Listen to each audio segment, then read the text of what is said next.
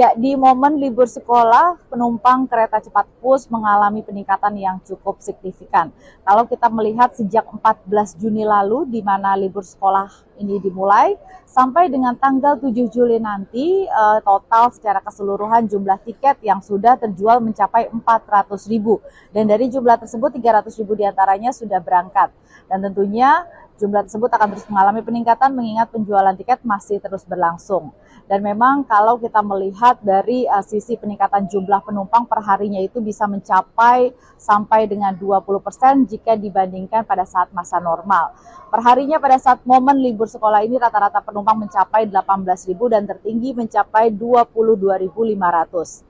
Dan kemudian tentunya kami juga mengingatkan kepada seluruh orang tua yang membawa anak-anak karena memang di musim libur sekolah ini mayoritas uh, keberangkatan keluarga banyak yang membawa anak-anak.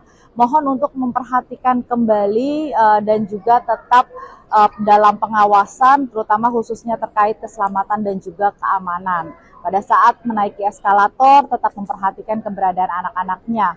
Dan KCIC juga mengingatkan kepada seluruh masyarakat yang akan menggunakan kereta Wush agar memperhatikan juga jadwal keberangkatannya karena 5 menit sebelum jadwal keberangkatan gate itu sudah tidak bisa menerima proses tapping tiket.